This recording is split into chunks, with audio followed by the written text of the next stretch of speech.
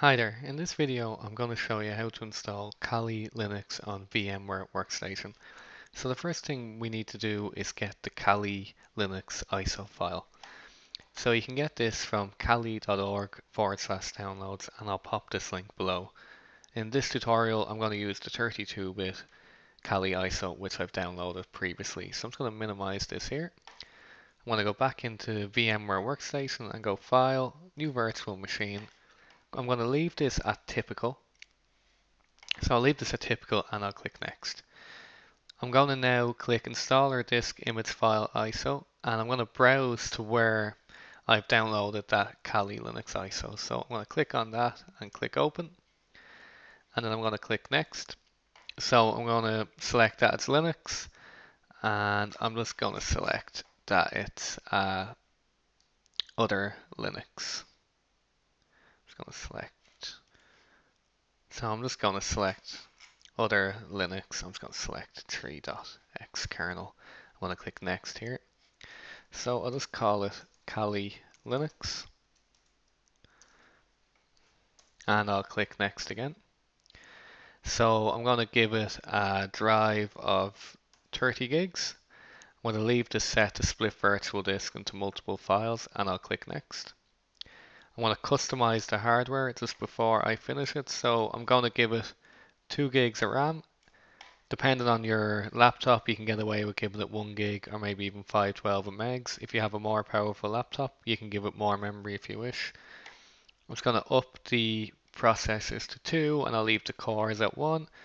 And I'm going to leave the rest of these as are and click close. And then I'm going to click finish. Okay, so we can now see that it's appeared here for us in our list of VMs. So I'm now going to click power on this virtual machine. So we can see VMware it's going to start booting up the VM for us. Okay, so we can see Kali is booted up. So I'm going to click I'm going to come down and click install here. And we should begin to go through the install procedure. So what I'll do is I'll just pause the video while this is going through the boot up procedure. Okay, we're back here. So I'm going to select English as my language. I'm in Ireland, so I'm going to select Ireland. I am going to also use the Ireland keyboard. And it's going to run through some stuff here. So again, I'll pause the video while this is running through the bits and pieces. Okay, now that it's finished doing its bits and pieces, the next thing you'll see you'll be asked to give it a host name. I'm just going to leave this as Kali and you click tab to get to continue and click enter for the next screen. Domain name, I'm just going to leave this blank, click tab and then enter at continue. Okay, so we're going to be asked for a root password. So type in a root password that you can use. And again, click tab to click continue. Okay, so you need to re-enter it just to confirm that it's it matches and click continue. Okay, so you can see now that that's been accepted. And again, it's going to run through some stuff that it has to do here. So I will pause this video again. Okay, we're back here. I am just going to use the entire disk, click enter.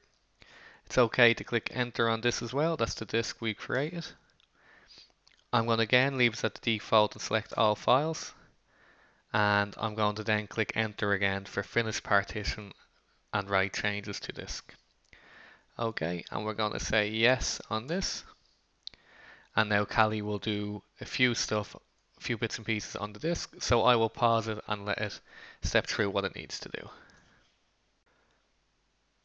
Okay, so the next screen that you will see will be a question saying it can go to the internet and download extra software that may not be available on the CD-ROM.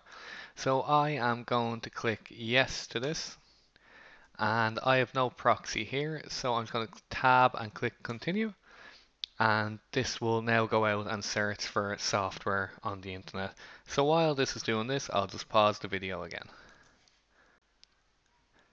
Okay, so the next screen that we'll see will be one that is prompting us to install the Grub bootloader on a hard disk.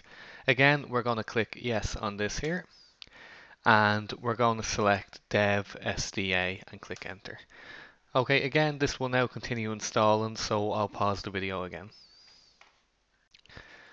Okay, so hopefully now you should be seeing this video too that states that the installation is complete. If for some reason you don't or you get any error, pop the error in the comments below and I can assist if I can. So I'm just going to click enter to click continue here and it's just going to finish up the install here. So I don't think this will take too long but I'll just pause the video again here. Okay, so now we can see the install has finished finished and I'm being prompted to log in so hopefully you can see the same as this. So I'm going to log in as root. I'm going to type in the password that we set a few minutes ago. And hopefully we should just log in now to Kali Linux.